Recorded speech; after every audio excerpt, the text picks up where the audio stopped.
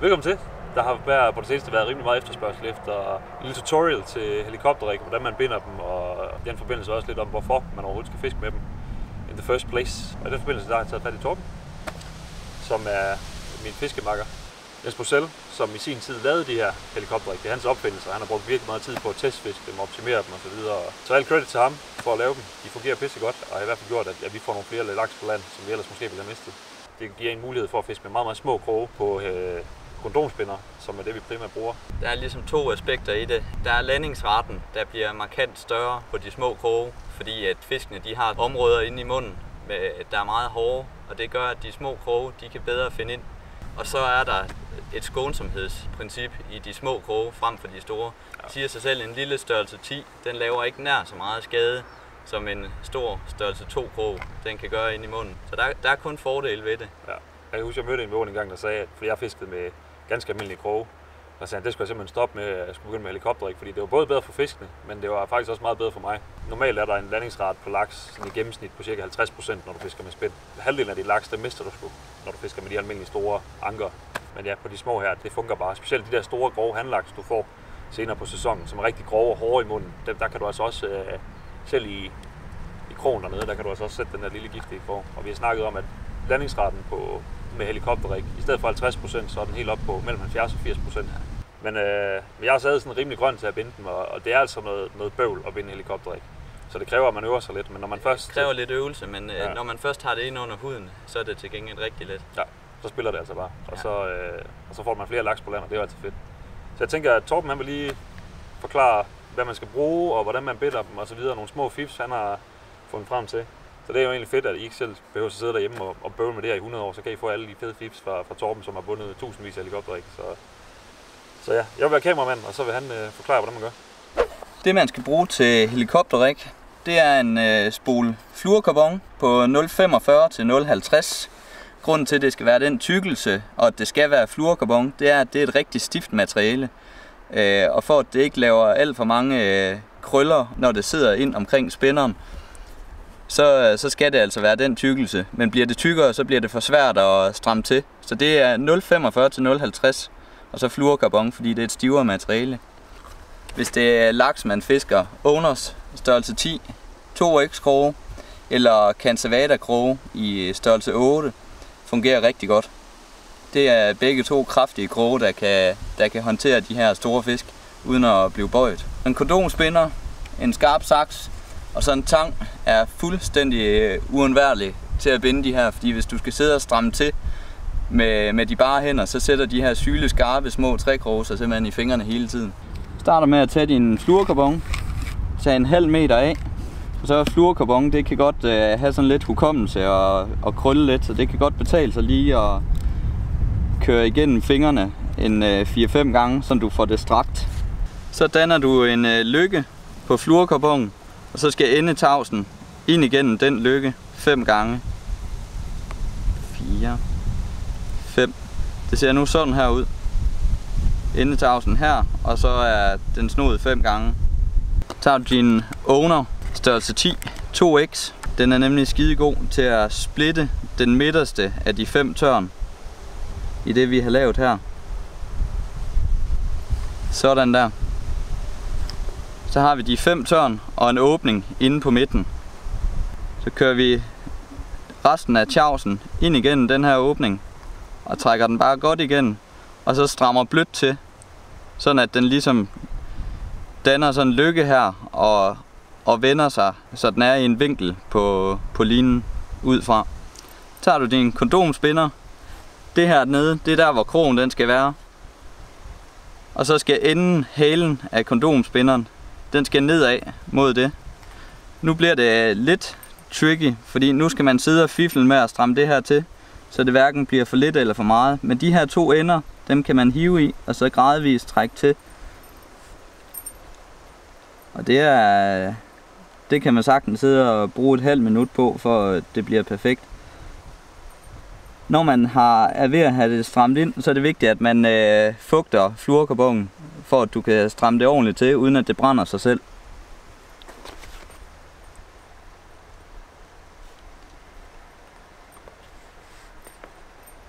Igen strammer lidt mere til hele tiden. Og nu er jeg ved at have strammet lykken så meget ind, som den skal være.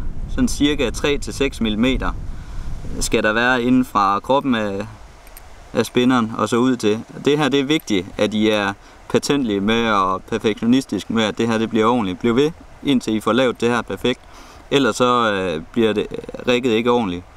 Og så strammer man til på den her måde. Det er en fordel at stramme knuden til med neglene ved at arbejde den indad mod midten. Og så stramme til igen bagefter. Nu er den her perfekt. Det næste du gør, det er at tage endetjavsen her. Så skal du have bundet en kællingknude på. Og den skal sidde, nu bliver jeg hjulpet lidt her af, at det er en tofarvet øh, spinder, men den skal sidde nogenlunde lige her, hvor farven den skiller. Hvis det er i forhold til halen her, så er det cirka et par centimeter over, at den skal ende, og så skal den stramme så meget herind. Dernæst tager du din ownerkrog, kører den på tjavsen her, og så skal vi have bundet en rappellerknude.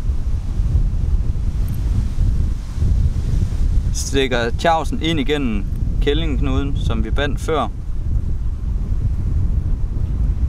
og trækker til, sådan at kællingknude og tjavs er helt ned mod krogen. Dernæst kører vi tjavsen tre gange rundt om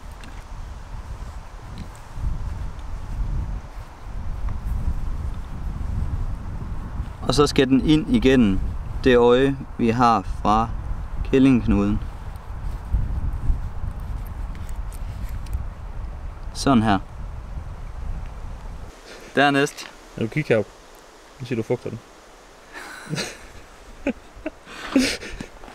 Dernæst fugter man knuden og strammer til. Det er lækkert.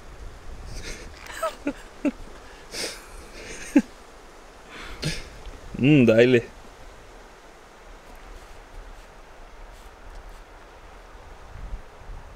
Så ser det sådan her ud nu.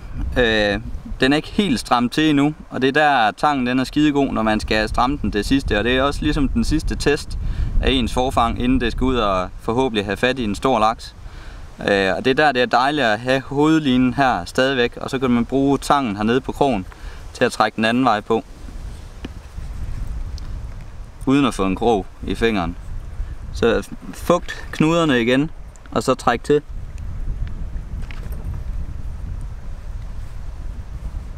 Sådan der. Nu er det hele stramt perfekt til. Det sidste man mangler nu, det er at klippe til. En lille skarp saks. Og så øh, efterlade lige øh, et par millimeter spids ved begge knuder. Så har vi det færdige helikopterrik. Det her, den der tjavst, den skal gerne være fuldstændig lige. Krogen, den skal slutte ovenover. Halen, fordi ellers så hægter den ned omkring de her finder.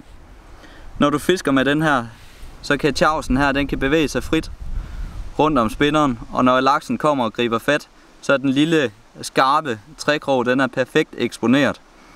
Og det gør bare, at du får en super krogning, og det er skide skånsomt. Ja, tak. Men altså, altså, som I kan se, det er lidt omstændigt at få det bundet, men gør det nogle gange, så ligesom Torben får styr på det, så spiller det altså. Normalt i et skjern, der fisker vi med 0,17 fireline. Og den ryger altså 100 p, før det her rig, det, øh, det, det springer. Men bare ja, husk, at, når I strammer til, få knuderne rigtig godt. Et alternativ, det kan være at bruge lidt læb på mad, hvis I sidder og brænder rigtig mange, så man ikke skal sidde og have det oppe i snotten hele tiden. Ja. Et alternativ kan være øh, et firma, der hedder Karl K., som er begyndt at lave sådan nogle gennemløbsspindere. Og der kan du på samme måde fiske med, altså selvfølgelig med gennemløber, med små bitte kroge, så det er også skånsomt. Øh, og igen bare kort linen, hvis du har en dyb krogning. Så det kan være et alternativ. Det smider jeg lige et link til nede i videobeskrivelsen, så I lige kan, kan se på det. Nu er vi op øh, på tur i Norge, Torben og jeg, Knold og Tot, ud over fjellet og her helikopterik på de norske laks, og vi har faktisk haft fat i nogle rigtig fine laks. Monsterlaks, kæmpe laks, øh, og virkelig presset dem hårdt her i strømmen. Virkelig givet gas på størrelse 10 krog, og det kan de altså sagtens holde til. Altså, det holder. Det holder fandme. Så længe I bruger de her 2x kroge, altså de kan klare virkelig, virkelig store fisk. Ja, så men I kan lige se nogle af alle optagelserne fra, fra de her monsterlaks, vi har haft fat i, og se et helikopterrigget. Det grå fedt, og det holder bare. Det kommer her.